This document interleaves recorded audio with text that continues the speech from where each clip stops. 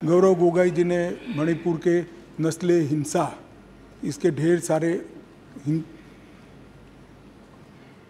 बात की आंकड़े बताए मैं आपके माध्यम से श्री गौरव गोगाई को कहना चाहता हूँ और रिकॉर्ड के आधार पर कहना चाहता हूँ सबसे ज़्यादा धार्मिक और नस्लीय दंगे किसी के शासन में हुए हैं तो न, न, श्री जवाहरलाल नेहरू इंदिरा गांधी और राजीव गांधी के समय में हुए।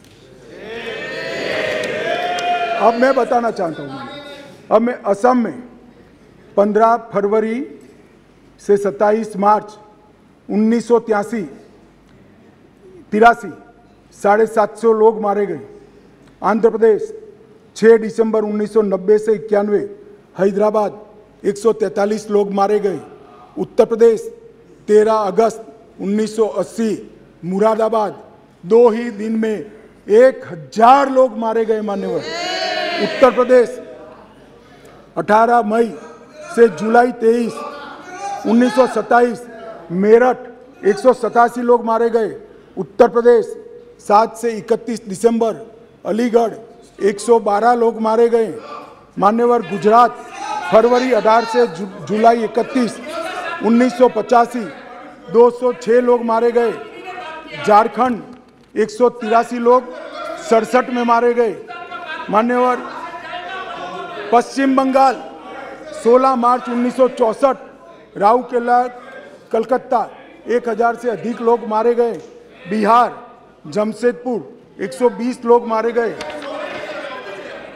मान्यवर मैं ये इसलिए बताता हूँ, मैं ऐसा, सुनो सु, मैं यही कहना चाहता हूँ सुने ना। मैं यही कहना चाहता हूँ कि दंग द, तो शांति के अपील में सहयोग धमकी से मानोगे? ऐसा करोगे कि मैं पढ़ूँगा तो शांति में सहयोग नहीं दोगे ऐसा कहना चाहते हैं? शांति की अपील और इसका क्या लेन मैं तो राजनीतिक जवाब दे रहा हूँ आपका। माने और मैं इतना ही कहना चाहता हूँ कि दंगे हर बार हुए। मगर दंगों को हमने कभी पार्टी के साथ नहीं जोड़ा। हमने कभी दंगों का जवाब देते हुए किसी गृह मंत्री को नहीं रोका है।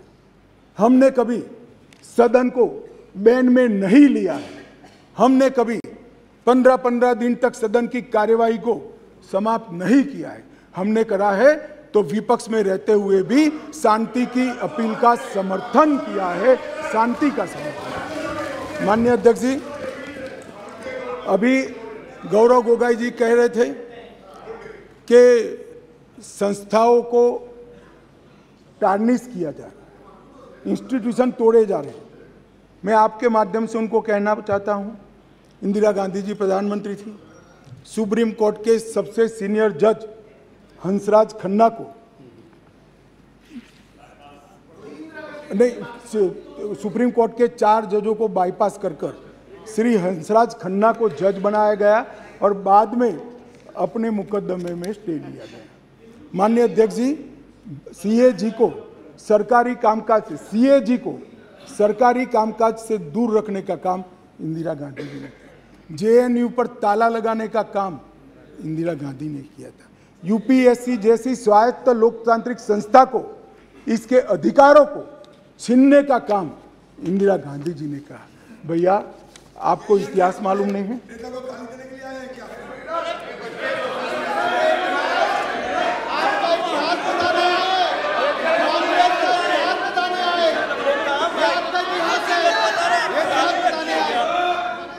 मान्य मान्यवर, मुझे मालूम है, शांति की अपील तक नहीं बैठेंगे।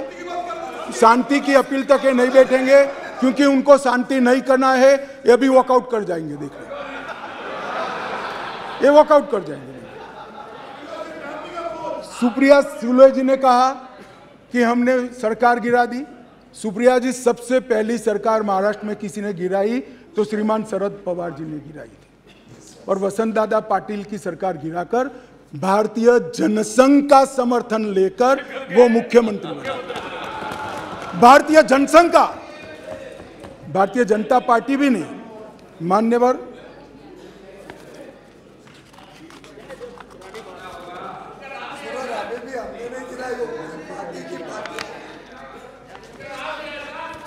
मान्यवर।